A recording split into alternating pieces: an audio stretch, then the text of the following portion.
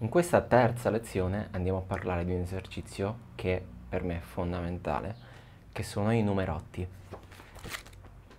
Nella prima edizione del libro trovate i numerotti a pagina 14 e sono questi qui,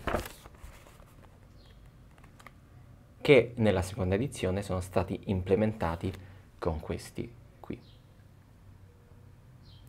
Cosa ho aggiunto? Ho aggiunto la pagina di Numerotti un po' completa con diciamo queste altre cose che avevo qua, questi altri appunti che mi ero messo a penna, come ad esempio il fatto che qui ci sia un arpeggio major 7 o settima e che qua ci siano degli arpeggi di triade rivoltati per farli notare ai miei studenti. E poi ho aggiunto quelle sulle altre scale modali perché in realtà qui abbiamo eh, la scala maggiore e i modi derivati dalla scala maggiore quindi ho pensato, dato che poi li abbiamo usati con i miei studenti, di introdurre i numerotti con eh, i modi derivati dalla scala minore armonica e quelli derivati dalla scala minore melodica, per riuscire a coprire un range di intervalli completo, quindi al massimo, includendo anche ad esempio il doppio bemolle 7, che ovviamente in questa pagina qui nella locria non c'era perché è nella superlocria.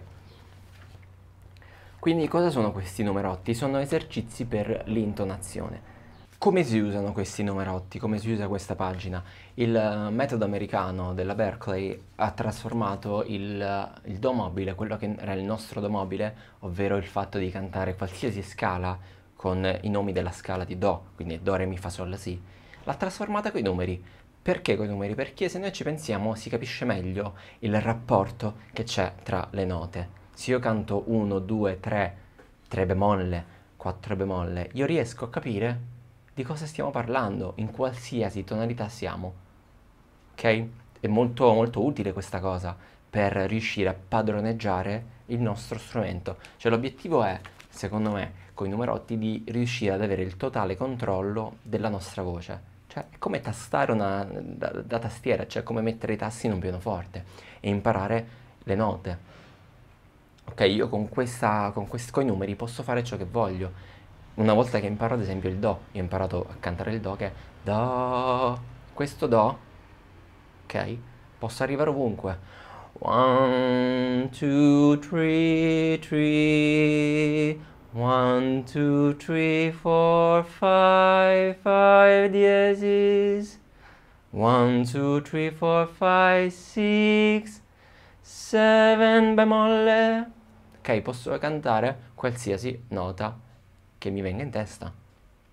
Qual è, quindi, qual è la praticità di saper fare questa cosa? Che siamo più intonati. È un esercizio di intonazione.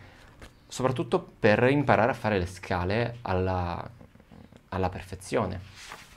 Perché una volta che noi ci cantiamo tutte queste scale qui e quelle che ho aggiunto, e le sappiamo cantare anche con i numerotti, riusciamo ad ottenere un livello di padronanza della scala che è molto alto. Quindi prendiamo la nota di riferimento, che può essere Do, può essere quella che vi viene più comoda, e iniziamo a cantare quello che c'è scritto. 1, 2, 3, 4, ok? Quello che consiglio io è non vi suonate le note, tipo non fate e le fate insieme al pianoforte perché non imparate niente, cioè l'obiettivo è capire quello che sta succedendo a livello mentale, riuscire a riprodurlo col tuo strumento. Quindi, dato la nota di riferimento, imparate prima, ve la suonate, sì, ve la suonate, magari 1, 2, 1, 2, 1, 2, 3, 1, 2, 3, 1, 2, 3, 4, 1, 2, 3, 4, ve la suonate un po' insieme. Dopodiché vi date solo la prima nota, 1, 1, 2, 3, 4, 3, 2, 3, 2 e ci provate.